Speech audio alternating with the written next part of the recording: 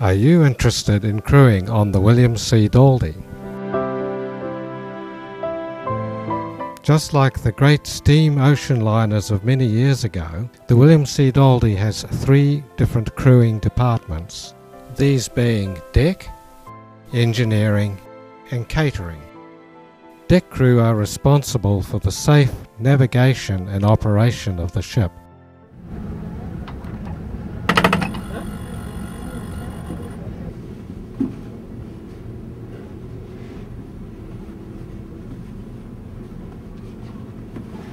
Catering staff are responsible for the safety and comfort of the passengers.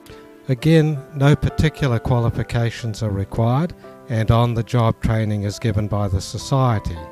Good people skills are a must. While deck and catering jobs on the Daldy differ little from the same jobs on a modern passenger ship, duties in the engineering department have many unique aspects to them. Engineering tasks that disappeared from commercial shipping decades ago still have to be done by our engineers and stokers. For example, our stokers need to empty out boiler ash,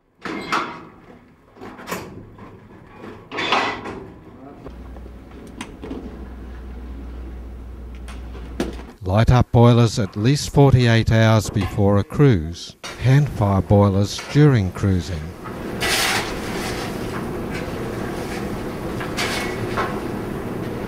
Stokers on the Daldy do not require any special qualifications and on the job training is given. However, it cannot be regarded as an unskilled job as it takes a while to train a stoker in the techniques of hand firing the boilers. Great physique and strength is not required, however, a reasonable level of fitness is. And our engineers need to oil all the ship's engines and auxiliaries by hand in addition, they also have to oil and grease any steam-powered deck machinery. Operation of the steam power plant is more complex than a diesel engine, and the operating of the engines and auxiliaries is all done manually with not a push button or computer in sight. This makes the job more challenging but also far more exciting and fulfilling than its modern equivalent.